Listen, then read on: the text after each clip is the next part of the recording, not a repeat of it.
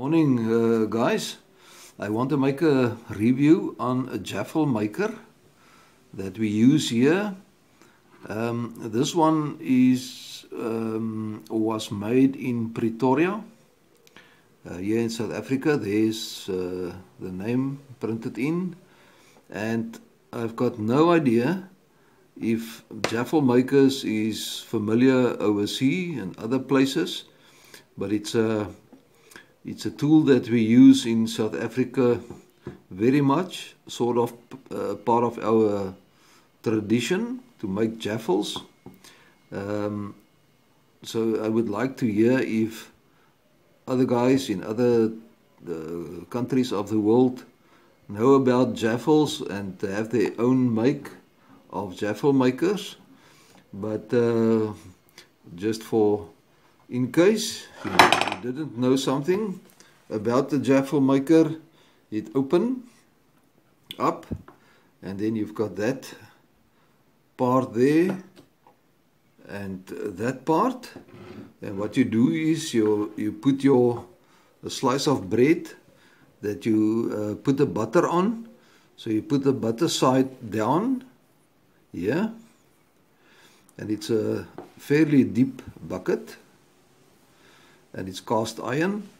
And then you put your your bread in. So it like uh, sit like that.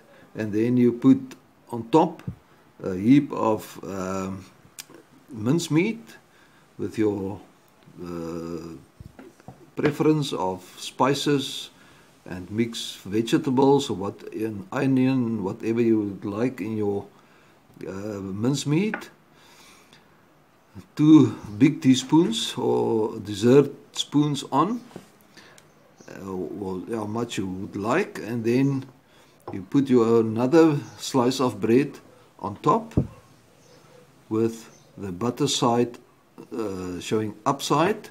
And then you close it. You close the two together.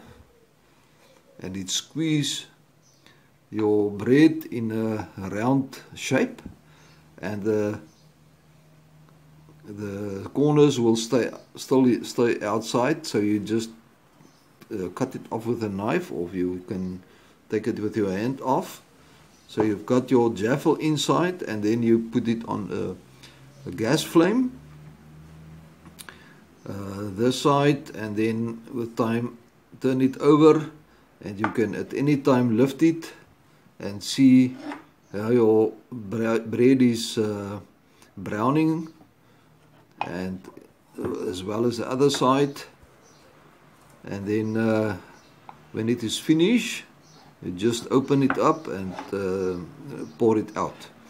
So this is um, a real South African uh, tradition. This specific one is well over 50 years old it came along with the family uh, from uh, decades. And uh, it works well and at least two times a month we eat jaffles for dinner.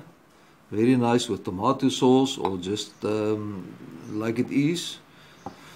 And I would really like to know if uh, you guys in other countries know about the jaffle maker.